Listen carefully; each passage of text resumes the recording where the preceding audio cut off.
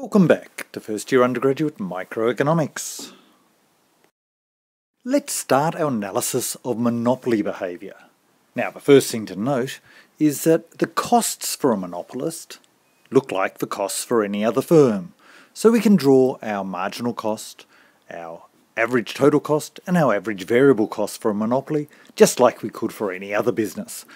I'm going to start by just drawing the marginal cost curve. Here's our marginal cost curve. I'll just have it sloping upwards like that, and let's label it. Now, the difference from monopoly is that unlike a price-taking firm, the monopoly faces the market demand for the product. And the market demand is usually sloping down.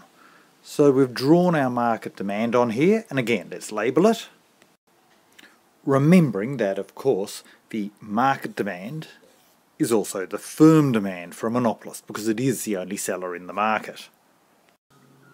Now, we need to work out the profit maximising decision for the monopoly. Well, the profit maximisation rule is still the same as it was for a perfectly competitive firm. To maximise profits, the monopoly wants to set its output where marginal revenue equals marginal cost. The same as for a perfectly competitive firm. Now we have marginal cost here. Marginal revenue for a perfectly competitive firm, well that was easy because marginal revenue was the price. Every time you sold another unit, you just got the price for that unit. If the price was $100 per unit, and you sold the first unit, you got $100. If you sold another unit, you got another $100. So for a perfectly competitive firm, price was marginal revenue. But what about for a monopoly? What is marginal revenue? Here I've just got the demand curve for the monopoly. And to work out what marginal revenue is going to be, well, let's just ask how much extra money does the monopoly make when it sells one extra unit. That's our definition of marginal revenue. So let's start with a price on here. Let's suppose that the monopoly decides to sell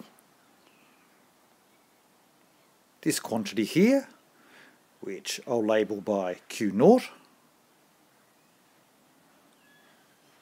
And let's say it does it at press price here. So that price here, we'll just label by P naught.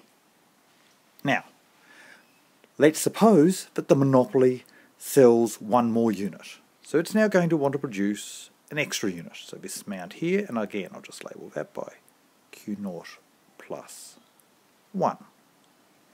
Now, what price is it going to set for that unit? Well, it's going to want to sell all of its output for the highest price possible. And that price is up here. And I'll label that by P1. Two things to note here.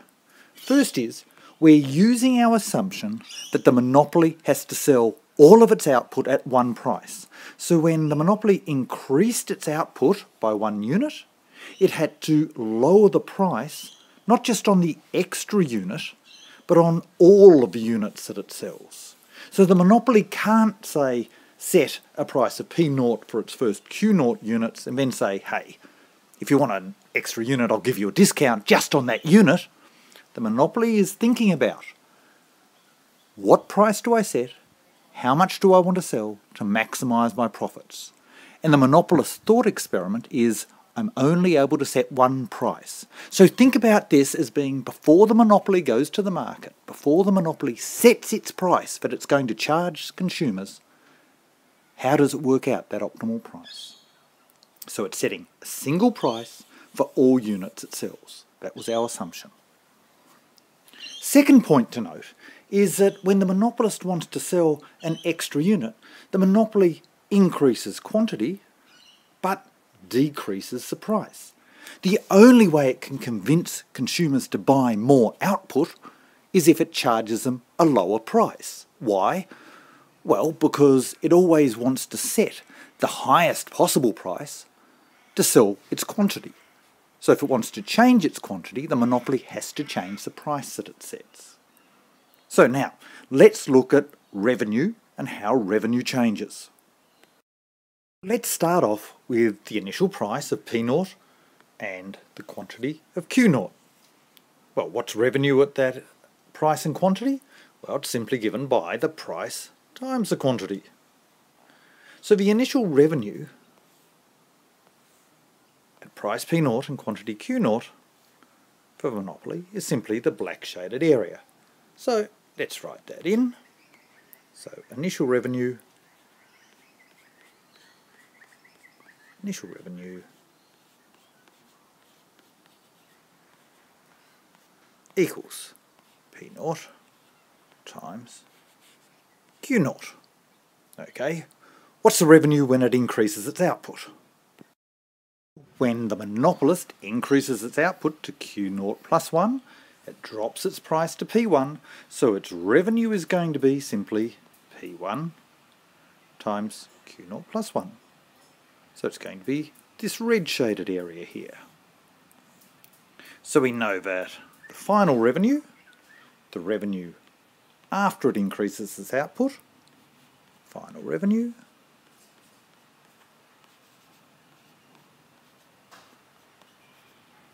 that's just going to be equal to P1 times Q0 plus 1, a new quantity. What's the marginal revenue equal to? Well, it's just the difference between the initial revenue and the final revenue, so that's pretty easy. Let's put the initial revenue back on here. Remember, it was a black shaded area, so let's put that back on there, and uh, I'll cross hatch it the other way this time so it becomes really clear. So what's our change in revenue, or our marginal revenue, when we produce an extra unit?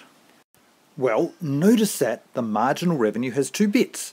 When we sell an extra unit, we get the price on that unit, P1, and that's just what this bit of red shaded area here means.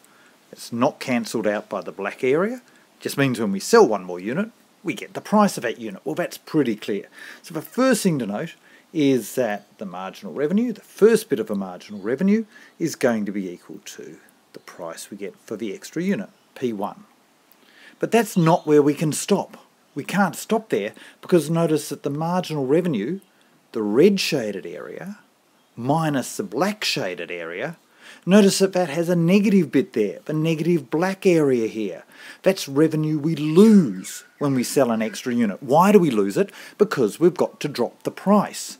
So that area is simply equal to the drop in price, our change in price, times our initial quantity.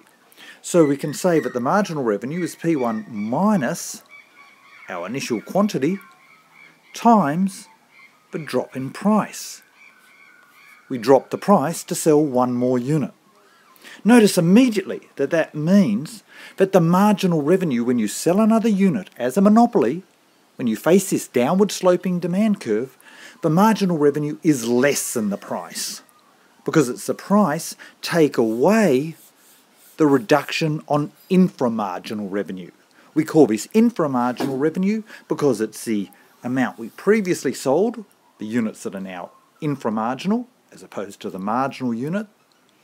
It's the inframarginal quantity times the change in price when we drop the price on all units to sell another unit. So now we can put our marginal revenue curve on here. We know that at a quantity of Q naught, the marginal revenue curve is going to be less than the price. It's going to be price minus that quantity times price change. And similarly at a price, at a quantity I mean, Q naught plus 1, the marginal revenue will be less than the price. So we know that the marginal revenue curve is going to be sitting somewhere underneath here. I'll deliberately take it over the horizontal axis. There's no reason why marginal revenue must always be positive. It may become negative at some quantities. So, we can now call this our marginal revenue curve. Oops, marginal revenue. Okay, let's put it all together. Let's go back to our standard diagram. We've got marginal cost, we've got demand, but now we need to draw marginal revenue. So let's draw the marginal revenue curve. You can show mathematically that it's always going to be steeper than the demand curve for the simple case we have here. So I'll draw that again. That red curve is the marginal revenue curve. And now we can solve for the profit maximising decision for our firm. The firm is going to want to set output where marginal revenue equals marginal cost. That's this point here where marginal cost and marginal revenue intersect. So the firm's optimal quantity is going to be back here. And I'll call that QM, M for monopoly. Now, what price does the monopoly want to set? Well, if it's producing that level of output, it wants to sell it for the maximum possible price. It wants to maximise its profits. That's one of our assumptions. So, the monopolist will set the price by the demand curve to get the maximum price it can for its output, and that will be PM. So we've now got the monopoly quantity, the monopoly price that will maximise profits for the monopoly. Final thing to do is to ask, well, how much profit is the monopoly making at its profit maximising decision? Well, to do that, we have to put the average total cost curve back on here. So let's do that. Let's pop an average total cost curve on here. And remember, the average total cost curve still has to cut marginal cost at a minimum. That'll do. Average total cost. So for this particular monopoly, for this particular monopoly, well, at its output QM, its average cost, total average cost, oops, is here, just above the bottom. So this is its average total cost. And its profit, well, its profit is just going to be the difference between the price and the average total cost at its optimal quantity. So it's going to be given by this rectangle here. So the rectangle between price and average total cost at the optimal quantity. I won't try and shade that in because it will become completely messy and unable to read anything. So the key takeaway though is that for a price setting firm as opposed to a price taking firm, for a firm like a monopoly, but it's actually a general result for any firm that sets the price, if it faces a downward sloping demand curve for its product, then the marginal revenue curve will be below the demand curve. It will be steeper in general than the demand curve.